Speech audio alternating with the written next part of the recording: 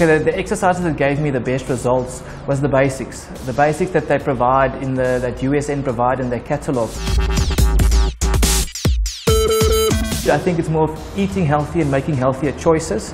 With me, I'm not a big fan of vegetables, so I kind of stuck to the spinach and the, the mixed veg and spinach, you know, Popeye's favorite thing.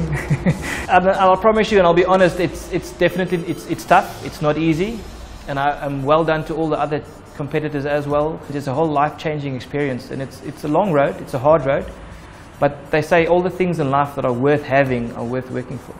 If you look at a typical family, the mom and the dad will be overweight, and then obviously the, the kids will be overweight as well. And if you start your life as an overweight child, you're in a disadvantage already.